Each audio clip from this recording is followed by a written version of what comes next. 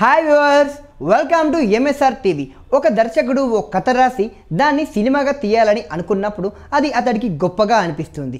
Cinema తీస్తున్నప్పుడు పూర్తి చేశాక output విషయంలో ఎలాంటి ఫీలింగ్ ఉన్నప్పటికీ బయటకు మాత్రం గొప్పగానే చెప్పుకుంటారు. సినిమా విడుదలై నెగిటివ్ టాక్ తెచ్చుకున్నప్పుడు కూడా తమ సినిమా బాగోలేదని ఒప్పుకోరు. కానీ కొన్ని నెలలు గడిచాక మాత్రం వాస్తవం బయటపడుతుంది. అప్పుడు తమ తప్పిదాల్ని అంగీకరిస్తారు. సీనియర్ డైరెక్టర్ తేజ కూడా ఇప్పుడు అదే చేశాడు.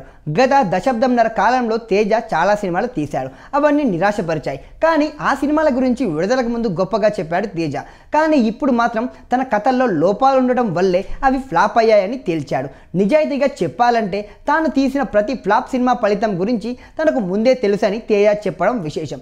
కొన్ని సినిమాల ఫలితాలు ఆడవని ముందే అర్థమైందని కానీ సినిమా హిట్ అవుతుందనే ఆశ వాస్తవాన్ని కమ్మేసిందని తేజ చెప్పాడు. కథల్లో లోపాలు ఉండడం వల్లే తన సినిమాలు ఆడలేదని వాస్తవమని తేజ చెప్పుకొచ్చాడు. అయితే తన సినిమాలు ఫ్లాప్ అయినంత మాత్రాన తాను అప్డేట్ మాత్రం కాలేదని అందుకే అలాంటి ఫలితాలు వచ్చాయి అంటే మాత్రం తాను అంగీకరించనని తేజ తేల్చి చెప్పేశాడు. తన సినిమాల ఫలితాలు తనను ఎంత మాత్రం మార్చలేదని తన విజయాల్లో ఉన్నప్పుడు ఫ్లాపులు ఎదురైనప్పుడు ఎప్పుడు ఒకే రకంగా ఉన్నానని తేజ చెప్పుకొచ్చాడు. ఈ ప్రపంచంలో ఎవరు మారరని మారినట్లు నటిస్తూ ఉంటారని అలా నటించడం కూడా తనకు రాదని తేజ చెప్పడం విశేషం.